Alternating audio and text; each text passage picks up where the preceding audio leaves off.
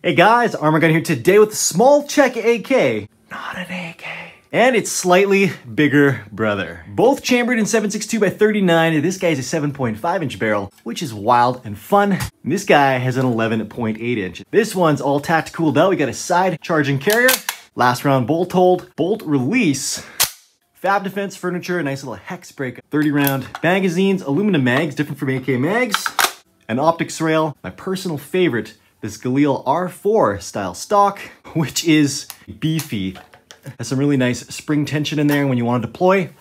Give her a yank. VZ58s are short stroke operated. You can see the little piston up in there. And this bolt release also works as a bolt catch selector. Boop boop, no shoot. No boop, you shoot. And because we can, got a little light up front, Surefire, and this Meprolite Micro R DS. Boom diggity.